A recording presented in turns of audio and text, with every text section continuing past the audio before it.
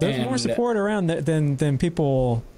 I think they realize. If I think a lot of adjusters, especially new ones, feel like they're out there just by themselves and they get handed a bunch of work and then they just got to figure it out. But there there is a, quite a bit of support. And having And- done and- been a field support manager myself, where I would just go and train people like you, you'd, I would just be like, I'd call you and say, hey, where are your claims at today? I'm I'm gonna come right along with you, and Uh-huh. you know, it's fun. I loved it. I mean, it was like. I don't have responsibility for the claim, which was probably Right. a big part of it. Um, but I'm also No like, writing for you. yeah, so it's like I'm I'm like we're gonna. This is a complex claim. I had a bunch of uh, adjusters in New York on Hurricane Sandy, and there was a lot of like 300 year old houses that were slate and like brick, and these gigantic trees leaned into the side of the house and crunched everything up. And it's like a four story house, and it's all racked and everything. And the the adjusters never done this before. It's like their third inspection, and they're just like, I have no idea what to do. I'm like, well, let's, let's start at the top. Let's just start somewhere, and we'll just, you know, keep our notes organized, right? And here's the process, and Right. and next thing you know, you know, it's done, and they get paid, right? And the homeowner Yeah. gets gets paid, and and uh, no, it's it's really enjoyable to, to to do that. I would, you sound like the kind of guy that once you know you've got, you know, two or three, four years under your belt, and you'll probably want to maybe do field support or be a trainer, and just not even You like full time, but just like you know, here and there. Yeah, you know, you know, I I've actually I've thought about that a lot too. Is is like, well, where do I just want to do field adjusting? Do I just want to be, you know, writing claims for? I'm, I'm 34, so it's like I still got a few years under my belt that I can like really put it a lot into this. But yeah, I mean, I, I've definitely thought about those kind of options, like trying to branch out into, you know, where, where can I where can I work my what's next? That's Sure. That's always kind of my mentality is like, what is what's what's the next step on this adventure because right now at this point I never I didn't leave the door cracked by the way. I didn't I didn't leave for plan B. I didn't leave plan B made. This this was my Burn plan. I, the ships in the harbor. yeah, I, I because what happened you leave the door cracked open, you're going to definitely bust it open oh, and so for sure. I I I, cl- I closed that door and I said I'm, I'm going to commit to this. My wife and I we had a great conversation about it and and we said we're going to do this. Yeah. And it's not going to be easy because there's going to be traveling involved. We, it, but we're going to do this because we, Yeah. we we see the potential in being an independent adjuster. Sure. So, what would And you it- say your biggest struggles are right now? Like, what do you because you because you're at the point now where you like you're starting to see what you don't know, right? So you're learning, hmm. you know. I mean, and I have trainings. Mile High, MoCat, Veteran Adjusting School. I mean, all these places, we can tell you everything that we know about how to do this stuff and get you to the door, right? And, Right. But you kind of have to take it from there. And you're, there's so many things that we just, it's really hard to like train. It's things you just kind of have to figure out for yourself. So where do you think you're at as far as like, what, what do you feel like is hanging you up at this point to, to kind of get yourself to the next level?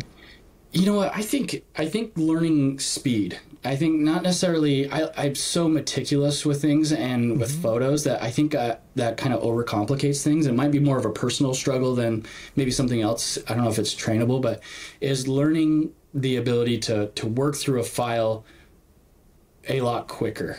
You know, taking it from point A to point B. And right now, I'm on an exact deployment, and you know, doing that switch when I, I my first switch actually was my first deployment was December 26th. I went to Maine and I switched to Xactimate, and I I learned pretty quickly. Like, uh, you know, I was been on Did you fly Logic. or drive? I flew. You kind of have to. That's a that's a three and a half day, four day drive right there. In the wintertime, I lose you. All right. Froze up. There he is. Did you hear that? No, what happened? Huge like a lightning strike. It, I got the update. It hit zero miles within the house. Oh, really? I'm I'm curious if it struck the house actually oh, because it I mean it shook this whole home and the power went out. uh huh. It scared the that's that scared me like crazy. Wow. that made me jump real quick. No, you just like you were start. I said I asked you if you were flying, if you flew or drove drove to Maine, and you go, I flew, and then that was like your face froze right there, and then that was Yeah, I mean, I mean, this it sounded like I mean, that lightning, I got the update on my phone. It said it was zero miles away, but I mean, it shook this house. So anyway, I can't remember exactly what we were talking about. Um, but you said you went to Maine. I, I had mentioned I went to Maine. Or you're talking about process and speed. Yeah, yeah. So um, basically, that was my first exact deployment. It was my first exact claim, but where I'm getting 30 Xactimate claims. And yeah, going through that, it just kind of learning. And this is where I met just a really great, another great field manager, the one on one who took a lot of time to kind of help me and walk me through and show me. He was, he had just moved from adjuster to field manager. Yeah. And it was, it was really great because, man, he took, I won't lie, he took hours on the phone with me team viewing and and not because I needed that help right there, but he started showing me all the tips and tricks, things I really needed prior probably to going into this deployment. Yeah. And he starts showing me all these all these things that Xactimate can do and and yeah, he worked through it and and that was really really helpful because a lot of times like for example, when you dimension elevations on on Xactimate, like I I really, you know, I'd always done with Hover, and Hover just kind of manually did that. But you have still have to assign the uh, the elevations on on Xactimate, like what's what's what. And I realized these are these are little things that I was kind of spoiled on Core Logic, on a Symbility claim because it kind of already did that. Uh-huh. And Xactimate, it's it's more customizable, and you have to you have to some of the things you have to do manually, and you have to do by yourself and that that was that was super helpful because he sh- he showed me all these things that were going to I mean certain carriers require you to dimension the elevations.